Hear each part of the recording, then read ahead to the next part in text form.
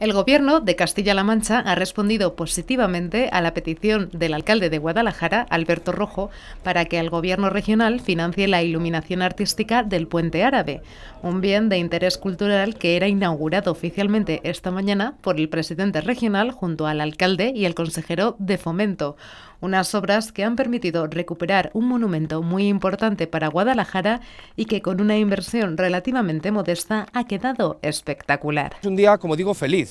Es un día feliz porque inauguramos uno de los elementos más emblemáticos de esta ciudad, el puente árabe. Creo que ha quedado muy bien.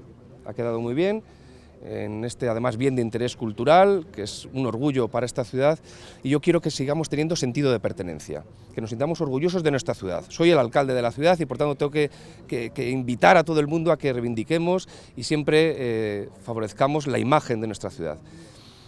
Y la verdad que el presidente de Castilla-La Mancha me conoce y sabe que me gusta pedir, que me gusta trabajar, que me gusta negociar, y en los días pasados eh, hablé con él, con el consejero, con el presidente de Castilla-La Mancha y les dije que al puente solo le faltaba una cosa, y era que tuviese una iluminación artística.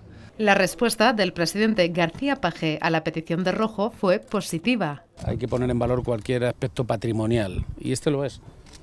Lo es y espero que con el tiempo lo sea más. De hecho, el alcalde me ha pedido que abordemos un proyecto de iluminación artística del, puente y de adecentamiento del entorno y nos vamos a comprometer a ello. De manera que el consejero ya tiene instrucciones de ponerse en marcha para que en esta legislatura tengamos un, proyecto de acondicionamiento y de iluminación artística que ponga más en valor, incluso por la noche, lo que ya de día va a resultar para todos un, yo creo que una obra de arte.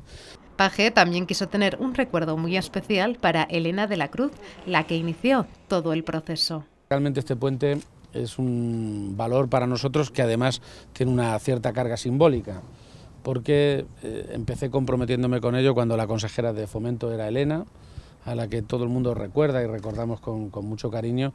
Ella además se lo tomó como un proyecto muy personal, y después de varios vericuetos y conflictos finalmente podemos hoy rendirle un sencillo homenaje también a Elena de la Cruz en una obra que ella se tomó, como digo, muy a pecho personal.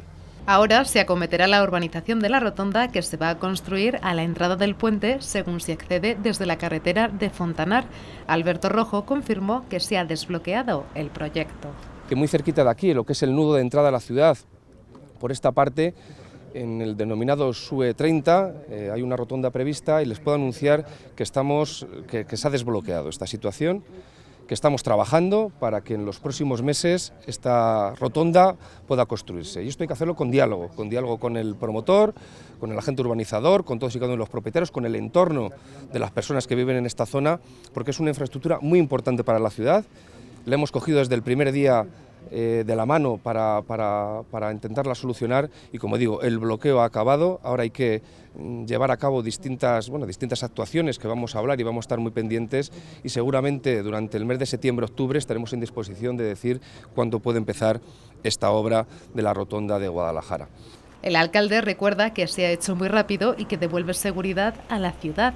Empezaron las obras el pasado mes de últimos de noviembre, primeros de diciembre y hoy estamos en su, en su inauguración en su puesta en marcha, en, un elemento que, efectivamente hacía falta porque había peligro principalmente para los peatones por las aceras que estaban cerradas desde hacía ya un tiempo y desde luego ha quedado muy bien, ha quedado remozado este puente árabe que para nosotros es muy importante. Alberto Rojo aprovechó la visita del presidente regional para anunciar el fin de los enfrentamientos entre administraciones se acabó el enfrentamiento entre la ciudad de Guadalajara y el gobierno de Castilla-La Mancha. Y permítanme, porque yo he pertenecido al gobierno de Castilla-La Mancha anterior, y poníamos todos los ingredientes para que todos los servicios y todas las inversiones y proyectos que venían de la mano del gobierno de Castilla-La se implementaran aquí en esta ciudad. Lo sufrí también como delegado de la Junta. No quiero que nadie sufra eso que sufrí yo en estos cuatro años pasados.